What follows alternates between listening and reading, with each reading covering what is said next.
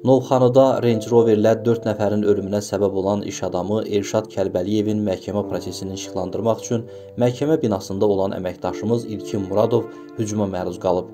Bu barədə əməkdaşımız özü xəbər verib.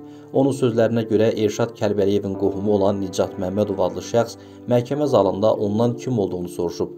Əməkdaşımız ona izahat verməyə borclu olmadığını deyib və əvəzində həmin şəxsin təhqirləri ilə üzləşib.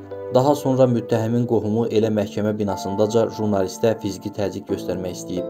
O, məhkəmə koridorunda yumruq atdı, sonra məhkəmə binasının önündə də davam etdi. 25 dəqiqədir 102-yə məlumat vermişəm, İlkin Muradov qeyd edib. Ümidvarıq ki, cinayətlərin mühakimə olunduğu binada cinayət törətmək təşəbbüsü göstərən, jurnalistin peşə fəaliyyətinə əngəl yaratmağa çalışan şəxs layiqli cəzasını alacaq.